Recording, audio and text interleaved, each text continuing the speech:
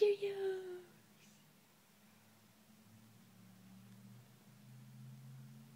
More?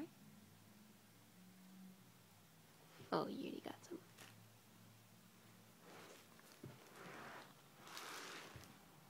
Ryan, Cheerio.